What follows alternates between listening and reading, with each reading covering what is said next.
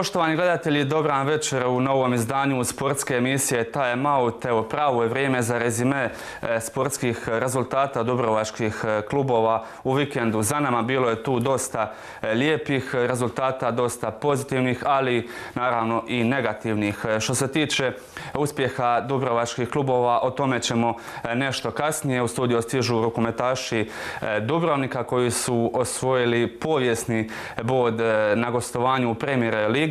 Međutim, u samom e, početku emisije e, izdvojit ću, kao što ste i vjerujem mogli e, čuti i vidjeti u najavi, automobilizam. Čast mi je što ću večeras ugostiti predsjednika Hrvatskog auto i karting saveza, gospodina Davorina Štetnera. Međutim, evo zbog silnih obaveza trenutačno još uvijek nije u studiju Dubrovačke televizije. Bio je od Splita, pa evo ako se i Pelješac, Crna Gora, zbog, kažem, poslovnih obaveza i dalje nije u, studiju, ali evo, sa minuticom kašnjenja, gospodine Štetner, dobran večer. Dobro večer, Davore.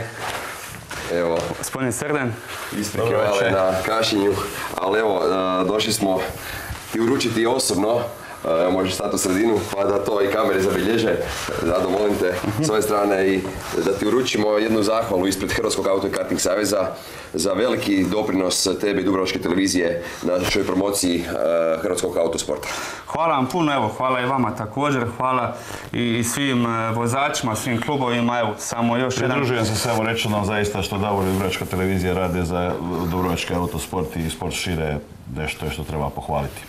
Hvala vam još jednom, evo hvala također i vama. Sad ćemo nastaviti s razgovorom uz ovu minuticu. Kažem, evo, samo je ovo podloga za mene osobno, ali i naravno za Dubrovačku televiziju da još više i bolje radimo već evo za dvadesetak dana kada počne nova sezona što se tiče brda i kruga, ali i općenito automobilizma u Hrvatskoj. E, tako i, znači, baš mi je drago jer moramo prepoznati ovakve stvari jer ovo što radite je jako bitno i pogotovo za ovu regiju, ali i općenito jer danas nije više lokalni mediji, danas je sve globalno zbog društvenih mreža, tako da još jednom zahvala i vama i Dubrovačkoj televiziji. Hvala mi se svakako vidimo uskoro u svim ovim e, vijestima što se tiče vaše kluba. Evo gospodine Štetner, ja sam baš e, najavio emisiju e, kako ste ipak zbog ovih poslovnih obaveza bili ste, ako se ne varam, e, u dosta gradova, u dosta manjih e, sredina, ako se ne varam, a prateći vas na društvenim mrežama, svaki dan, pa gotovo svaki sat ste bili u nekom drugom gradu. Pa imam tu praksu da kad nešto radim da se potpuno posvetim tome i meni je jako bitno obići e, i, i manje klubove i obići cijelu Hrvatsku jer tako, tako dobijem ono baš informaciju s terena što fali fali, što nedostaje i kako neke stvari napraviti boljima. A pogotovo evo, žao mi je što sam e, u posjetu mnogim klubovima prvi predsjednik u povijesti. Da, bili ste baš u, u ovim manjim sredinama. Što oni kažu na sve? Što se zapravo treba napraviti za onaj iskorak, pogotovo u takvim manjim klubovima, manjim sredinama? Što nedostaje? E, uvijek naravno nedostaje novac. E, živimo u čudno pandemijsko vrijeme i e, baš osjeća se ta kriza i rast cijena svih energenata. E, pa onda, znači naravno tu je novac, ali Savez je tu da olakša, da smanji tu birokraciju. Jedan od poteza koji zasigurno želim u mandatu je da, da promo digitalizirati neke procese i da to sve skupa olakšamo. Da. Evo spomenuli ste baš vaš mandat, vaš drugi zapravo mandat, ako se ne varam, izbor je bio prošle godine, ako sam dobro e, zapisao, možda prije točno godinu e, dana. E, smatrate li kako, evo, a već ste tu više od deset godina, ako se ne varam općenito automobilizmu u svijetu autosporta u Hrvatskoj, smatrate li kako možda i dalje imamo neke podjele ili je to sad već sa strane iza vas, iza Saveza općenito? Gledajte, znači uvijek ne možete svakom udovoljiti. I uvijek postoji par ljudi kojima nikad neće biti stvari dobre, ali to je uobičajeno. Znači ja se fokusiram isključivo na pozitivne stvari, fokusiram se da uh, ono velikoj većini klubova pomognemo, pogotovo klubovima organizatorima i mislim da, da mogu biti zadovoljan. Naravno, cijeli tim i ja napravili smo neke dobre stvari i meni evo, prvo kao poduzetniku, prvenstveno mi je bilo financijska konsolidacija Saveza jer nažalost zbog nekih događanja iz prošlosti ostali su veliki dugovi i tako da smo... Koliki su bili dugovi? Pa evo, u bilanci 2019. imali smo 3,2 milijuna kuna dugova, danas nakon tri godine imamo ispod milijun kuna. Tako da mislim da možemo biti zadovoljni cijeli moj tim i ja. E, idemo u dobrom smjeru. Ja se nadam da za godinu, godinu i pol imamo čist savez e, i onda kreće... Da neće biti, onda, onda kreće, Ne, ne, onda kreće, e, onda će savez moći bitnije i pomoć financijski. Da. Preuzeti neke troškove na sebe i tako dalje. Ali, ali recimo ono što u sportskom dijelu, čestitam i ovim putem, pogotovo evo, tu je sa mnom bio i Dado Serden, on je prvi čovjek autosporta, struke i znači napravili su jako dobar posao posao, prošle godine smo imali 72, 72 utrke u 11 disciplina. To je, to je možda u 115 godina da, O tome ćemo baš nešto kasnije, evo kronološki sam baš napisao emisiju po, po, po, svemu da možemo u kratkim crtama, ali evo da gledateljima svakako e, spomenemo sve ono što se tiče Hrvatskog auto i karting saveza. E, rekao sam već na početku, vi ste više od 10 godina e, unutar ovog svijeta. Pa da, Viš, više od, odnosno 2011. godine sam ušao kad sam kupio prava Formula 1. Je li bilo većih e, promjena e, unatrag, evo kad ste došli, što se zapravo najviše, najbolje dogodilo po pitanju napretka? Pa, e, znači otvorili smo malo savez i malo smo se otvorili i počeli malo i promovirati i počeli više ohrabrivati klubove da idu u organizacije i mislim da to je jedan kompleksan sistem. Jako teško, jer to su sve uglavnom volonteri. Mi nemamo plaćenih funkcija i jako je teško zadržati kontinuitet ljudi, ali imamo jako dobre ljude i koji su predani svom poslu i vole to, jer e, ovo je volonterski sport. Znači to e, isključivo je davanje, davanje, davanje. i zato, su zato, zato, zato teško je motivirati ljude da dugi niz godina rade na ovom, ali imamo sreće, ali tu su stvarno vrhunski entuzijasti i mislim to je, to je ona stvar koja me veseli, jer s takvim ljudima se može raditi. Naravno, u početku, e, dok sam, kad sam postao predsjednik 2019. godine, sam probao to ko u tvrtki. Znači ono, idemo, idemo, idemo, onda sam skužio da ne može baš ići tako i da su ipak to neka druga pravila pa smo malo se vratili unazad i onda opet, opet e, drugim pristupom riješili stvari neke. Da, što se tiče Hrvatske, što je fokus e, za ovu godinu, ali općenito, e, vjerujem kako je to ipak više promocija možda kruga ili... Uh, da, ne pričamo o velikim natjecajima u krugu, U krugu sam jako zadovoljan jer tu sportski direktor Dejan Grbac radi odličan posao i uh, malo smo afirmirali taj krug.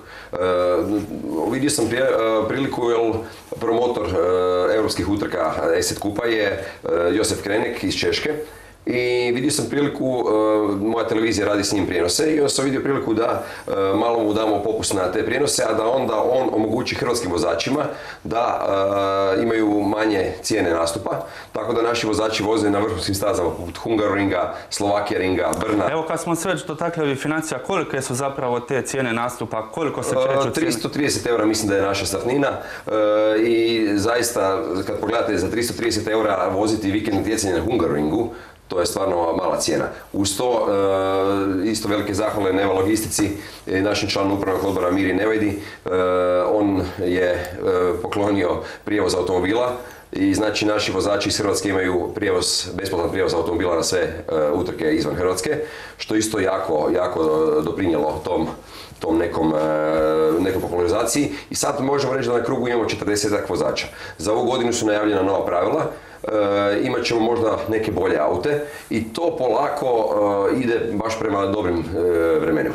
Gledajući vaš mandat, evo poštovani gledatelji, vi možete vidjeti na vašim malim ekranima kako to zapravo izgleda kada je vozač doslovno na ovim Evo Knego, Knego, naš predstavnik u TCR-u Eastern Europe, Žarko je stvarno... Stiže ako s novo, novo, novo auto. Što se tiče vašeg mandata, da se ipak malo vratimo na to, što mislite da ste dobro napravili, a što mislite za koje stvari ipak smatrate da su mogle biti bolje, odnosno da moraju biti bolje? pa prvenstveno ja, ja e, teško stignem i razmišljati o tome. Ali, e, ali baš ono, e, uvijek gledam budućnost neku, tako da se uopće ne osvrćem na, na prošlost. I onda puno puta mislim da nismo dovoljno napravili. Ali kad se pogleda, znači unazad par godina, stvarno mislim da prvenstveno zasluge idu ljudima koji rade svakodnevno na tom sportu i mislim da smo napravili dosta. evo, prošle godine e, je bila jedna od najuspješnijih sezona od 115 godina automobilizma. 72 natjecanja, 72 utrke u 11 disciplina. 11 disciplina. Znači to je velika stvar. Naravno tu su e, veće discipline pod navodnicima. E, to su krug, brdo i reli ali mi imamo niz drugih natjecanja, manjih takozvanih i koje su jako važne za naš sport. Spomenuli ste disciplina, spomenuli ste prošlu je, godinu, e, samo ako još sam jednu varam stvar. Da, prošle godine. To ćemo, to također, ćemo, to ćemo e, proći, ali e, stvar s kojom nisam zadovoljan još, Mhm. e, niti ja niti moji suradnici, je karting. E, Jer karting pokušavamo vratiti, jer karting je osnova za autosport, ali jako je teško raditi kad nemate staza, jer tu je bitna infrastruktura. Jer e, ne možete vi preko noći napraviti stazu. Ali evo, e, veseli me da je prošle godine konačno e, popravljena staza Rauš u Novom Marofu, jer to je bitna staza za naš, za naš sport i tako da ove godine nas čekaju tamo natjecanja. Razgovaramo sa Slovencima isto da se s njima malo udružimo i da taj karting imamo zajednički i tu mislim da će ove godine biti velikog napretka u kartingu. Da, ako se navaram, prije je bilo, e, prije su bila natjecanja u Virovitici, ako se navaram prije. Virovitica je naša jedina licencirana staza u ovom trenutku. Što se događa s jugom Hrvatske po tom pitanju? Je li možda postoji plan u budućnosti Ovako, ima, novih staza ima, ili- ima dosta inicijativa. Znači, ja mogu reći da radimo na, jednoj, na jednom velikom projektu, ali još je u ovom trenutku tajan. Ali ima puno inicijativa. E, imamo i Šibenik, e, imamo i Dubrovnik, e, imamo i mnogo tih lokacija, ali tu je, nažalost, uvijek problem novac. Ko će platiti to? Znači, to, to Što je... Savez može napraviti po tom pitanju? Savez može pomoći pomoć sve što se tiče pripreme, uh, dozvola, znači od FIE, licenciranja staze i pomoći sam, same savjetodavne pomoći u projektu. Uh, I to je to, znači, ali ipak tu je potreban novac uh, i znači, izrada jedne staze, karting staze je više milijunska cifra, tako da zato iz, tog razloga nemamo baš uspjeha tu. E, što se tiče kartinga, tu ste mi malo preduktirili, to se ostavio za, za malo kasnije, ali dobro, svakako vjerujem kako su mnogi gledatelji, pogotovo oni najmlađi, zadovoljni s ovim pitanjem, iako se za sada, što očekuje u ovoj godini? U ovom kalendaru, što ste ga, karting? da, što ste ga objavili, za sada trenutačno karting, nema, ništa najave. E, ovako, Iako nije imat ćemo, gotovo. imat ćemo Viroviticu, koja svih ovih godina sad spašava prvenstvo Hrvatske. E, imat ćemo utrku u Marfu, čak možda dvije, i e, razgovaramo da imamo još jednu utrku u Ptuju u Sloveniji. I to bi bila jedna dobra... e, Koliko se očekuje vozača? Pa e, Hrvatska do sad smo... Koliki odaziv je općenito? 30 do 40 vozača je tu, ali e, evo imamo jednu e, novu inicijativu. E, Upravni odbor, članovi upravnog odbora HAKSA će kupiti e, 7 do 10 baby kartova i malo ih po Hrvatskoj e, dodijeliti da se počinje ta promocija raditi. Isto tako kupljeni su kartinzi za karting slalom i imat ćemo e, baš jednu tu promotivnu disciplinu koja bi trebala bitno, e, bitno e, popularizirati taj sport, jer karting slalom se može voziti na parkiralištima. I isto je jako bitan jer znači, to je disciplina koja se vozi na FIA motosport igrama, koje su svoje vrste olimpijske igre našeg sporta u svijetu. Ove godine su u Marseju, na stazi Paul Ricard, i e, tamo, znači imali smo u prvim tim igrama u Rimu, smo imali ogroman uspjeh, e, znači naši dvoje mladih sportaša e, su Sandro Ivanjko i Stefani Mogorović, oni su ostvarili šesto mjesto od 29 zemalja. Da. Znači vidi se da imamo talenta.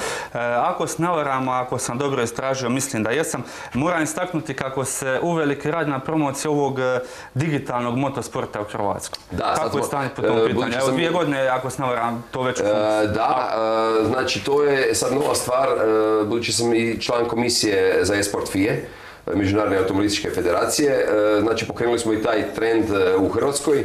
Imamo, mogu reći, jednog vrhunskog vozača koji je dvije godine za redom prvak Hrvatske, Mihael Matika, koji će isto predstavljati Hrvatsku na FIA Motorsport igrama, koji je jedan od najbržih vozača na svijetu, tako da se baš veselimo tome. A e-sport je jako bitan, jer za to treba samo PlayStation ili računalo. I to je ono, jer motorsport je skup. Motorsport je skup i stvarno ti svi ljudi koji ulažu u motorsport, ja im skidam kapu, jer oni odvajaju od svojih usta da bi se njihova djeca ili oni natjecali i to je stvarno jedna velika žrtva, ali i strast. Da, što se tiče, a osim toga, naravno, je li ovo rekordna godina što se tiče e, i natjecanja i disciplina, što se zapravo može očekivati ako se navaram, e, 5. i 6. veljače je već krenula zapravo sezona? Krenula sezona da e, reli show u Čazmi. E, mogu reći da to, to je, na to smo najviše ponosni u Savezu. E, naš Savez je osnovan 1. travnja 1906. godine i to je znači sad 116. godina. A 72, e, 72 utrke u 11 disciplina, to je ja mislim rekord.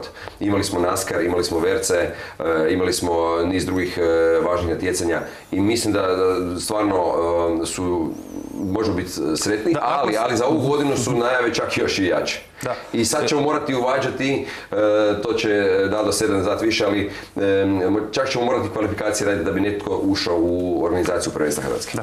E, Ako s ne varam, evo, izašao je baš e, kalendar natjecanja na stranici Hrvatskog auto i karting saveza. Je li on konačan, vjerujem kako Ma, nije još? Ti kalendari se uvijek mijenjaju, ovo je prijedlog kalendara i sad naravno Znači ovisimo, da možda ovisimo i o pandemiji, Da. jer dosta natjecanja e, će morat možda e, ovisiti o mjerama. Ja se sad zaista nadam da smo došli na kraj sa tom pandemijom i da će biti sve u redu. Da, znači da možda neće biti ovog poklapanja natjecanja rally autoslalom, također brdo i krug. Vidimo po ovom kalendaru da su čak isti datum, isti dan. E, Znači, sa, baš sam o tome pričao sa našim predsjednikom odbora za autosportove Dadom. E, znači, ja e, mu skidam kapu, on, on zaista mora balansirati jako, jer teško je izbjeći i gotovo nemoguće je izbjeći e, poklapanja, jer sa takvim brojem natjecanja, mislim, Postoji li nekoliko ili par vozača e, koji voze možda više disciplina, kako su oni reagirali na ovu? E, Pa svima je drago da je što više natjecanja. I mislim to da, nitko nije protiv, e, to pokazuje da imamo interesa, to pokazujemo da imamo vozača. Rastao je broj licenciji ove godine, prošle godine u Savezu, imamo 15% više licenci, e, što znači da, da se vraća taj interes. Kako Evo, zapravo ti pre- vozači mogu stizati natjecanja, a zapravo ih ne stižu?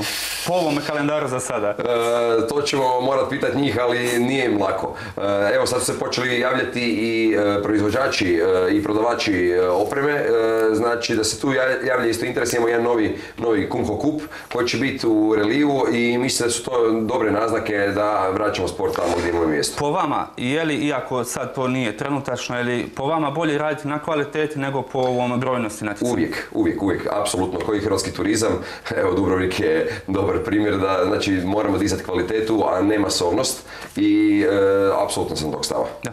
E, Što se tiče, ako se ne varam, a vjerujem da to je naše, pogotovo gledatelje i ljubitelje ovog sporta zanima iz naše županije, iz Dubrovačko-neretvanske županije, ali i općenito naravno. E, Što se tiče one, da se vratimo unatrag, e, 2019. godine, e, po onom pitanju što je zapravo epilog svega, e, što je sa utrkom u Dubrovniku, što se zapravo sad, Joj. nakon, nakon ovoliko godina zna? Je li se išta zna? E, ovako, sad stvar je, e, mogu samo Ako se ne komentirati. varam, evo, a, E, ispričat ću vas, 2019, preklan da. 17.6.2020. je odlučeno kako se Je, poništavaju. ali, ali znači to je kompleksan proces i sad je na olimpijskom odboru. Znači mi čekamo rješenje olimpijskog odbora i Kad postupit se ćemo. očekuje obzirom kako je prošlo dosta? Evo, znači isto, isto pitanje sam ja postavio, ali vjerujem da uskoro, ali e, kako nam olimpijski e, odbor naloži, tako ćemo postupiti. Tako da, e, evo, to mi, s tim stvarima nisam zadovoljan i htio bi da takvih spornih situacija bude što manje i da moramo tu raditi na pravilima da pravila budu što jasnije. M, Đivo Franjić ostaje osvajač zlatne kacige za sada ili će, ne daj Bože, po tom pitanju doći do promjena? Evo, to, se- to mora biti sport. Znači, evo, stvarno, e, ovisi o olimpijskom odboru. Savez je e, isto reagirao sa svojim nekim pravnim lijekovima, e, pa onda sad čekamo njihov odgovor. Ali kad smo već spomenuli ovaj jug, znači, ovaj krajnji jug je bio zaista uvijek neka utvrda automobilizma. Ne znam u kojem gradu je autosport drugi sport.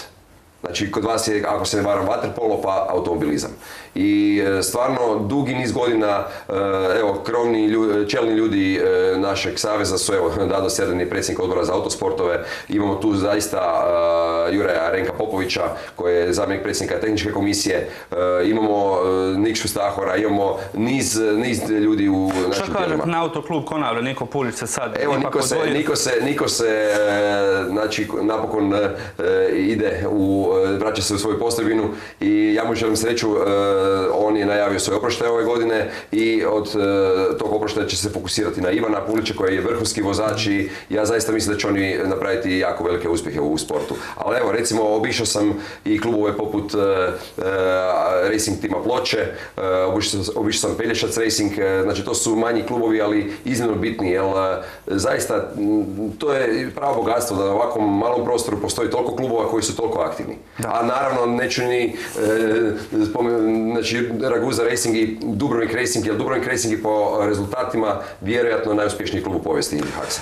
Ono što se očekuje, ja vjerujem kako i mnogi gledatelji to jedva čekaju, e, svi ljubitelji još jedno za istaknuti ovog e, sporta, to je VRC koji je na rasporedu 21. do 24. travnja ove godine. Što je za očekivati ove godine? Prošle nisu bili, e, nažalost, gledatelji, nisu bile puštene karte ulaznice u prodaju. Što je za očekivati za par mjeseci? E, prvenstveno spektakl. E, Stvarno, to je bio vrhunac prošle sezone, a i općenito to je jedan najvećih sportskih događaja koje je ikad se održao u Hrvatskoj. Nažalost, da, gledatelji prošle godine nisu mogli doći, ali to nije spriječilo desetke tisuća, desetke tisuća gledatelja da zaista e, dođu u stazu i, gledaju taj spektakl. E, Promijenili smo neke rute. E, I znači ovaj petak sada imamo veliku preskonferenciju na kojoj ćemo ja- najaviti neke, neke nove regije i e, vjerujem da će biti jako atraktivno, pogotovo za televizijske kamere, jer malo će se i možda i more vidjeti, e, pa, ali evo u ovom trenutku još neću govoriti ništa. Čekamo A- petak. U petak, u petak će se biti objavljeno. Dobro, što se tiče Saveza, osim same promocije i Saveza i sporta općenito u Hrvatskoj, ali šire, ima li Savez financijske pomoći, to jest podrške, ipak više što se tiče e, VRC-a? E, Znači, VRC je sigurno donio e, jako veliki e, popula- e, popularizam i promociju za cijeli hrvatski sport. Znači, ali ja uvijek se trudim da, znači, da nije to jedno natjecanje važnije od svih ostalih natjecanja. Znači, to je jednako važno, to je jedno od naših natjecanja, naravno najznačajnije, ali mi se trudimo da taj, taj publicitet, da ipak usmjerimo taj automobilizam. Za sada Savez nema neku financijsku Ne, injekciju. ne, ne, se- e, Savez se ne financira od e, države, niti iz javnih izvora, osim Olimpijskog odbora koji e, isto, istovjetno financira svih, ja mislim, 60-ak e, saveza koji su članice HO-a. A, Tako da tu je, mi se prvenstveno financiramo od članarina, naknada za utrke, Međunarodne automobilističke federacije i tako dalje. Tako da nismo osjetili sad neki, neki veliki sponzorski interes. Ali- da. ali, ali to ne znači, jer mi, mi mislim ovo je sve novo. Znači mi još trebamo vremena da to sve uspijemo kapitalizirati. Da. E, najavili ste prije nekoliko da slijedi velika vijest za hrvatski autosport. Ako se ne varam, e, da ste e, izjavili da to ne možete zapravo još e, u javnost pustiti. Možete li večeras? O čemu se točno radi? još, još ne, ali tako je u A zašto, intervju. što je, zašto je tolika tajna? Zato jer još sve u procesima. Znači, Rekli ste da ništa više neće biti isto. Znači, velike isto, su najave. Neće biti isto, garantiram to, to će biti, mislim da je najveća vijest u zadnjih 40 godina. E, ali bit će važno i za Hrvatsku samo. E, Dajte nam, e, našim gledateljima, samo malu podlogu. O čemu se točno radi? Pa evo, ako uspijemo, to će biti infrastrukturna vijest. Tako da... Je li vezana za sami jug, sjever ili...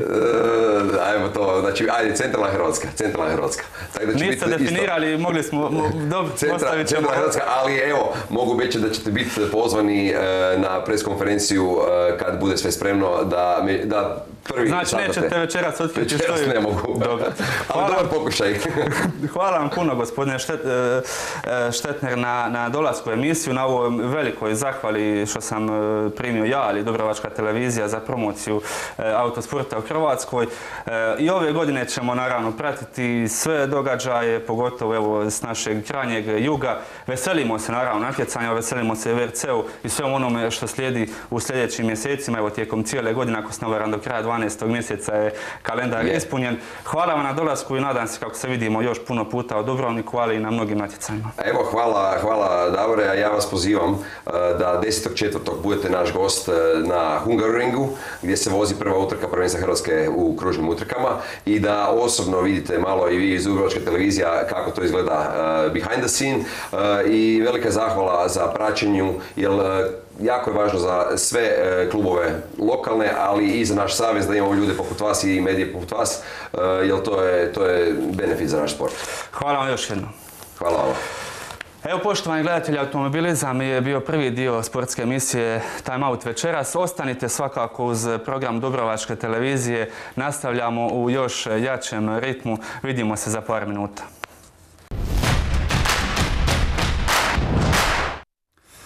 Evo nas natrag u studiju, poštovani gledatelji, pratite dalje sportsku emisiju Time Out.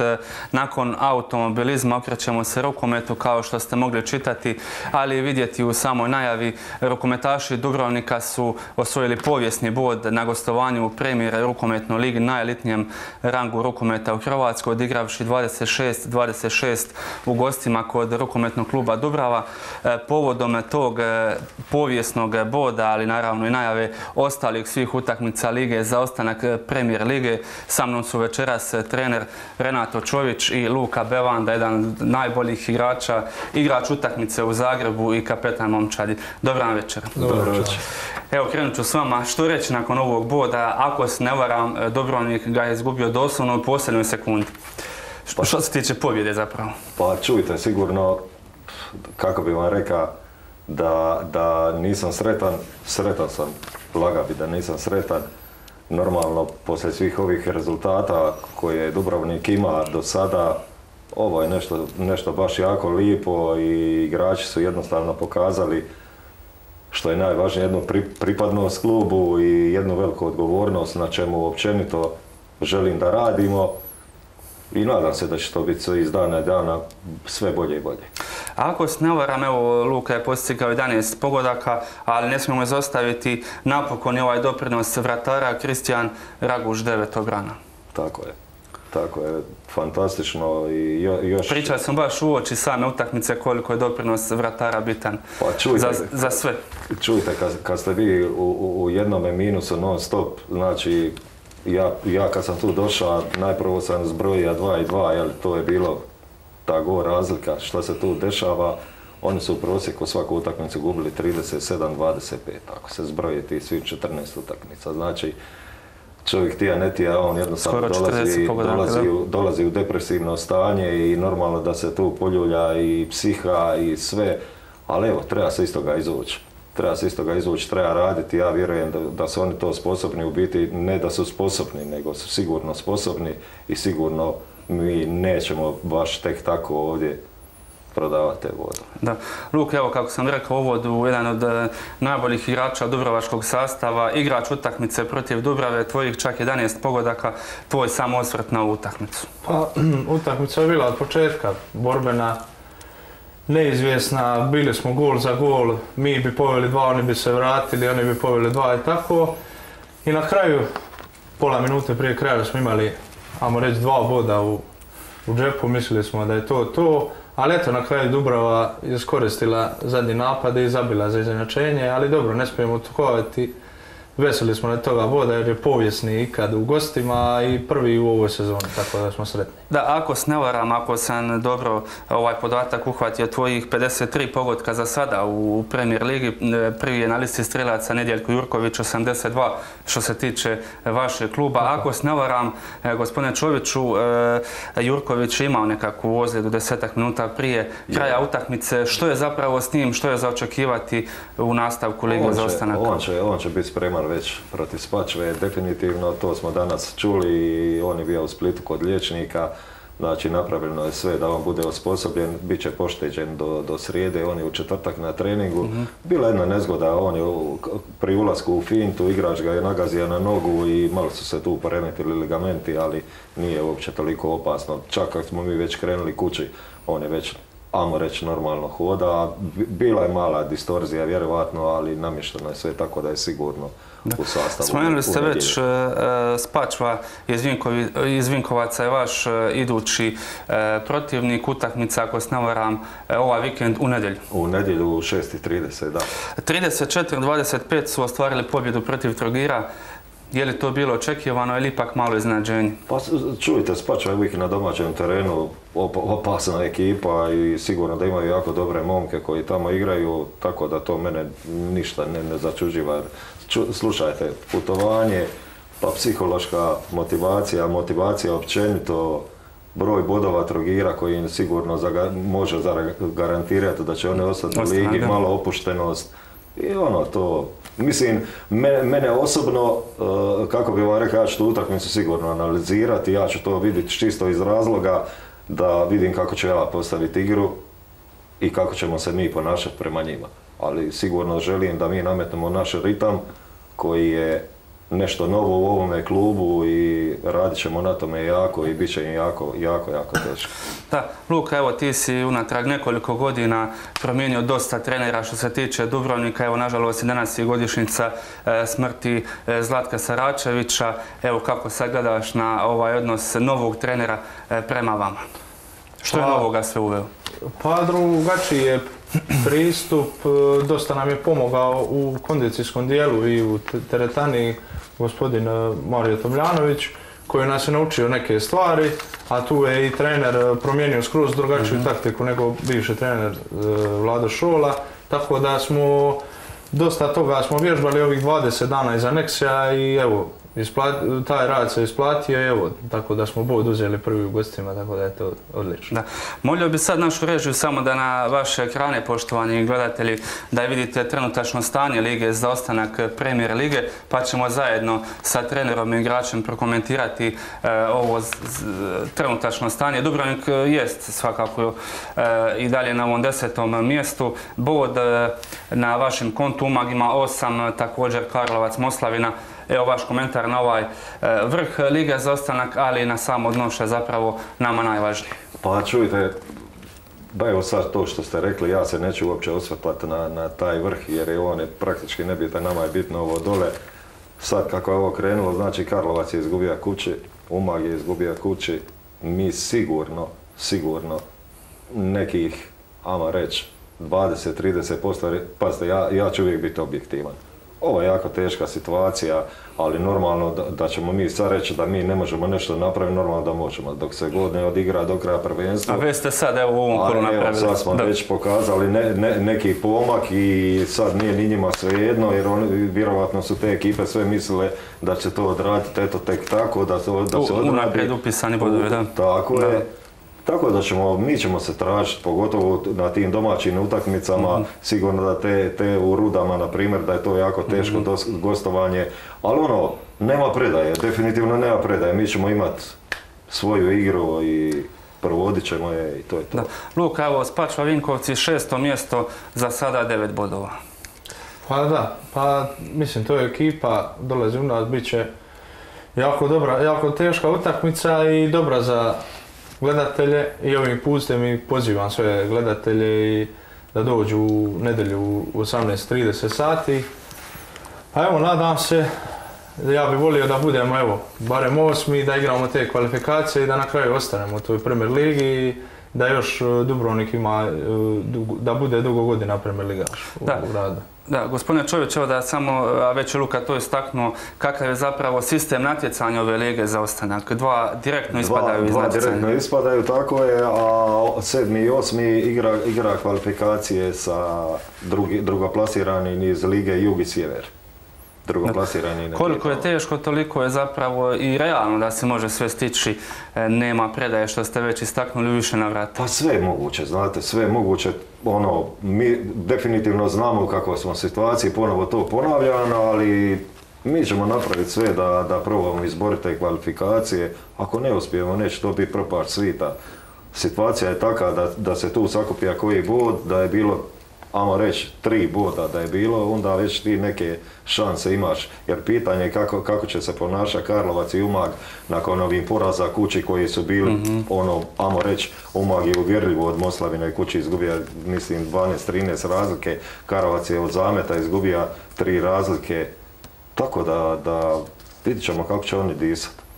Stigli ste u Dubrovnik, vaša prva premijerna utakmica bila je protiv Nexea i tad se već hvalila igra Dubrovačke momčadi. Kako vi gledate na e, ovaj fond igrača s kojima ste zapravo evo e, osvojili ovaj povijesni bol što se tiče e, gostujućih utakmica Dubrovnika u Premier League? Pa slušajte, zatekao sam stanje tako kako je. Znači, kad vi zateknete takvo stanje, vi morate biti svjesni, znači da vi imate to i da sad ti morate raditi. Drugo nema šta. Sad, sad da mi pričamo o, o, o stvarima, da, su- da je nama došao ovaj, da je nama došao onaj, da smo mi imali ovo, da smo imali... To su besmislice za mene, barem s mog aspekta gledišta. Znači, tu su dečki koji mogu igrati rukomet. definitivno mogu uz jedan dobar kvalitetan rad i potakniti ih i usmjeriti ih na pravi način, na pravi način ja smatram da oni mogu igrati rukomet. I to je jako dobar rukomet. Da. Luka, zapravo, ako se ne varam, su po dva treninga dnevno. Tako je, dva treninga, ponedjeljkom i srijedom, a utorak, četvrtak, petak je po jedan trening.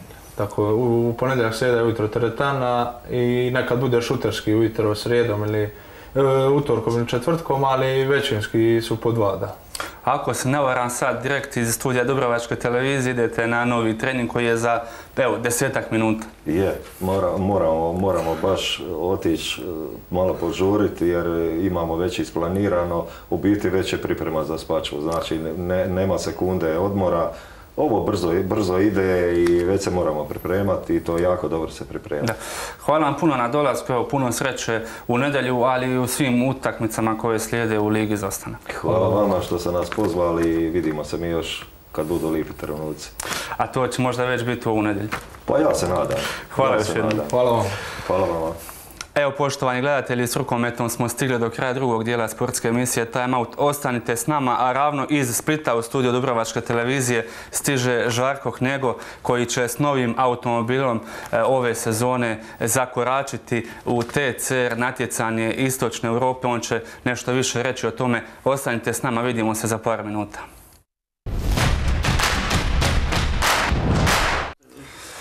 Evo nas, e, poštovani gledatelji, treći put u studiju Dubrovačke televizije. Pratite i dalje sportsku emisiju Time Out. Sa mnom je sad Žarko Knjego, član autokluba Dubrovnik Racing, ravno iz Splita u studiju Dubrovačke televizije, ali sa lijepim pozitivnim vijestima, Žarko. Dobro večer. Dobro večer. Što se dogodilo u Splitu? Pa da, u Splitu je, evo, prvi put sam se nekako sastao uživo u Hrvatskoj sa, sa svojim novim autom, on je stigao ravno iz, iz Mađarske, imali su nekako predstavljanje broda koji je usput, usput usto je bilo i predstavljanje auta, tako da su malo okupili i novinari, i neki uzvanici i sponzori da, da počnemo tu sezonu kako treba.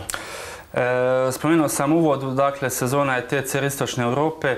Za one koji e, možda nisu gledali tvoje posljednje gostovanje, možeš li u kratkim crtama reći samo o kakvom se zapravo to natjecanju radi? Pa da, to je TCR natjecanje u kojem se natječu ti TCR automobili, to su tvornički automobili pripremljeni za utrke, znači nisu neke kućne radinosti ili neki što su radili tuneri, nego su to tvornice pripremljene za utrke, a istočno europsko prvenstvo se vozi na području Mađarske, Slovačke, Hrvatske, Poljske, Austrije, i to je manje to, više to. Da. Molio bi sad našu režiju, evo imamo e, e, dostupne e, zapravo najnovije video uratke kao što možete vidjeti uskoro na malim ekranima tvog novog automobila. O kome se točno radi, to jest ako se ne varam Seat Cupra je u pitanju, evo možeš li našim gledateljima ipak malo detaljnije o ovome što upravo vidimo. Da, to je Cupra Leon. E, Seatov Motorsport odjel, to je dio tvornice koji se bavi isključivo utrkama i automobilima visokih performansi.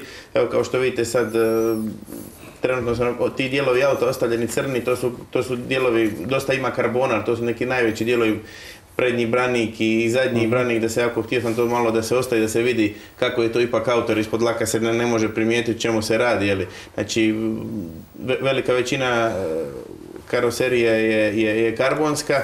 Evo ovdje možemo vidjeti motor koji je 2.0 turbo sa 370 konja. U kantunu se vidi dole mijenjač sekvencijalni koji je isto nekakav jako napredan, jako napredan dio tehnologije. E, straga može ovako od ovih, od ovih dijelova koji nisu, ne vidi se uvijek na, na, na ovim cestovnim automobilima, možete vidjeti spoiler koji je, služi za, za podešavanje stabilnosti zadnjeg kraja. Da, a što se tiče unutrašnjosti samog automobila, molio bi režu, imamo e, i taj video da zapravo vidimo kako to unutar e, samog auta izgleda što se tiče ovih zapravo posebnih e, vozila. Da, unutrašnjost auta je ogoljena, ona je prilagođena samo utrkama, znači nema nikakvih tapicirunga i nekakvih, kamo reći, tih luksuznih stvari. Mm Ovdje možete vidjeti taj školj, školjku SIC koji je isto karbonski, koji je služi za, za, naravno za sjedanje u njemu, ali taj, taj njegov oblik je iz sigurnosnih razloga koji mora biti uz tijelo. Ovdje možete vidjeti ovo je hidraulična lučna koštica koja se koristi za startanje. E, Volant ste imali prilike malo prije vidjeti koji je praktički mozak ovog automobila, u njemu se nalazi stotine ili tisuće parametara kojima se može upravljati preko ovih tipki na volanu, od e, launch kontrola do raznih parametara e, snage motora i jer mjenjač, mjenjač se isto nalazi, tipke mjenjača se nalaze sa stražnje strane volana. Ovo je zapravo Žarko, evo isprike što te e, prekidam. Prvi put da gledatelji e, na Dubrovačkoj televiziji, ali evo i ovim putem na sportskoj televiziji, mogu vidjeti e, ovakvu unutrašnjost vozila što se tiče TCR natjecanja u Istočnoj Europi. Da, ovo je praktički prvi put, pogotovo što je ovo najno- najnovija evolucija ove Cupra i ne- nije bilo puno prilike osim ga vidjeti na svjetskom prvenstvu. Konkretno ovaj automobil je prošlu godinu vozio svjetsko prvenstvo i odmah iza trke u Soči u Rusiji sam ja dogovorio sa, sa, sa vlasnikom, to je sa timom Zengo Motorsport iz, iz Mađarske koji je oficijalni tim e, Dogovorio sam da će se ići u kupnju tog automobila i nakon pregleda i nekakvih,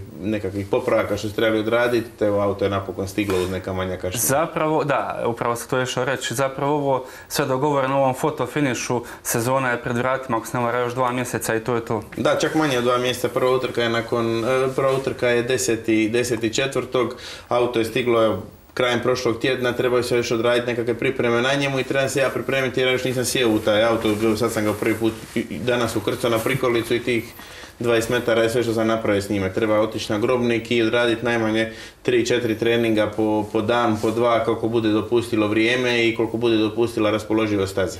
Da, molio bi još e, jednom svakako, evo, nakon našeg sponzora, da vidimo e, novi automobil izvanka, kako zapravo izgleda kad su i vrata i sve skupa e, zatvoreno. E, pa evo, moram te Žarko pitati oko javno zapravo kolika je cijena ovakvog jednog modela. Pa cijena auta je 137,5 tisuća eura, to je cijena novog auta.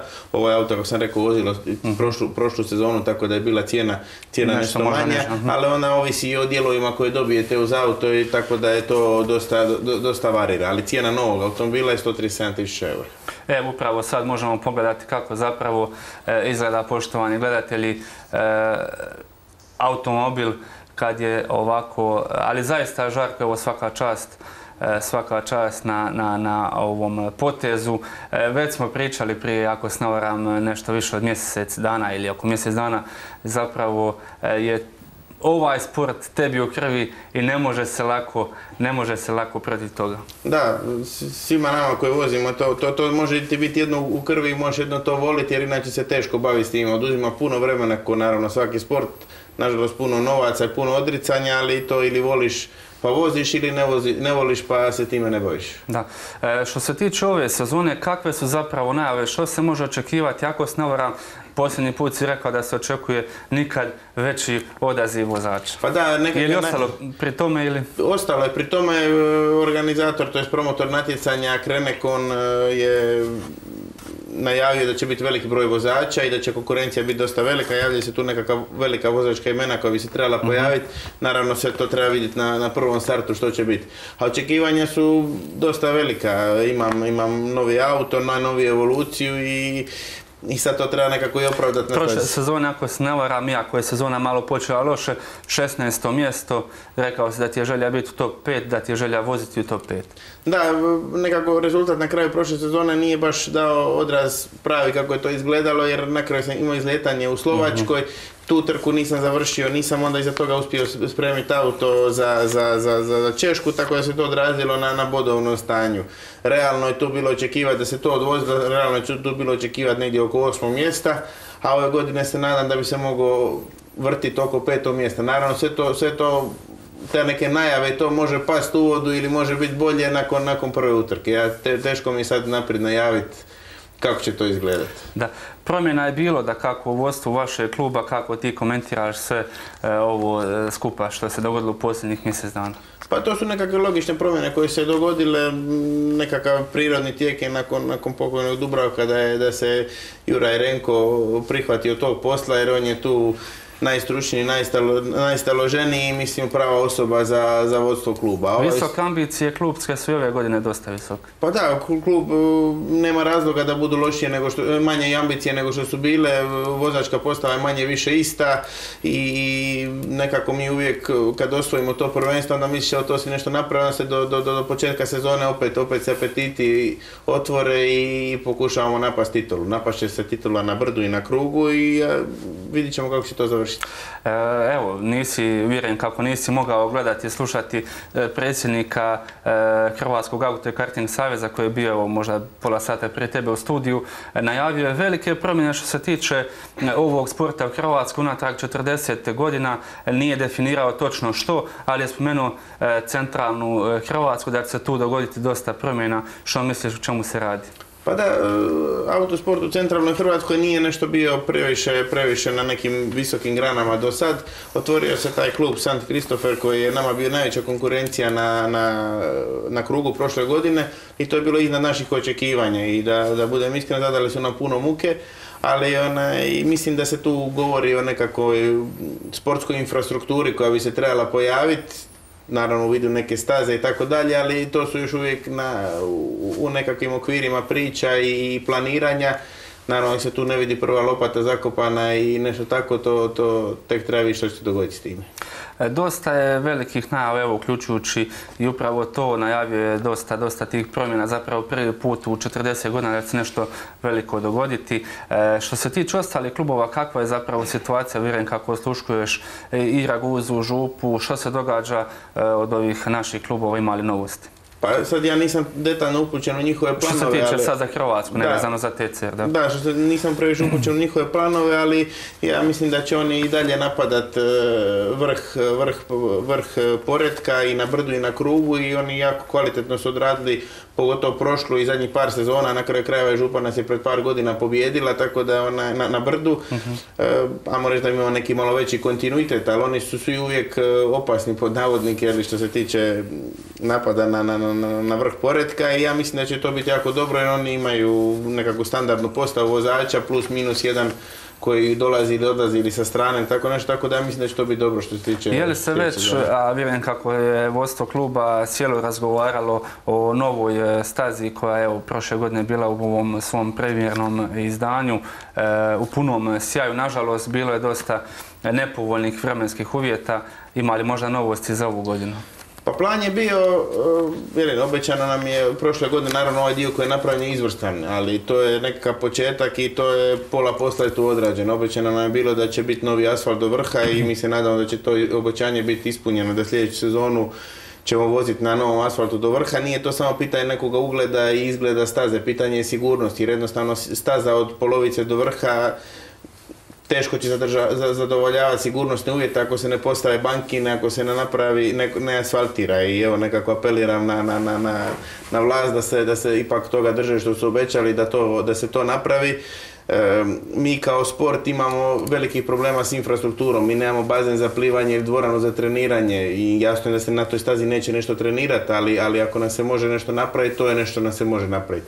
Mi ne očekivamo da nam grad napravi karting stazu ili autopistu, to nije realno za očekivati, ali ovako nekakve stvari, nešto što bi se trebalo napraviti i to nije nešto što koristimo samo mi, to su kori- koriste ljudi osvojnika i, i, i koji prolaze da, tuda, tako da nije znači. nešto što je napravljeno samo nama. Evo, ja se nadam da će to biti to obećanje biti održano.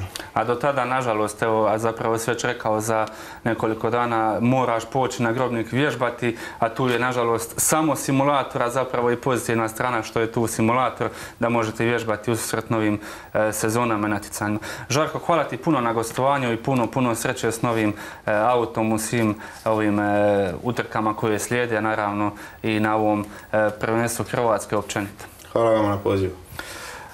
Hvala vama poštovani gledatelji što ste bili večeras e, uz sportsku emisiju Time Out. Mi se svakako vidimo i idući ponedjeljak.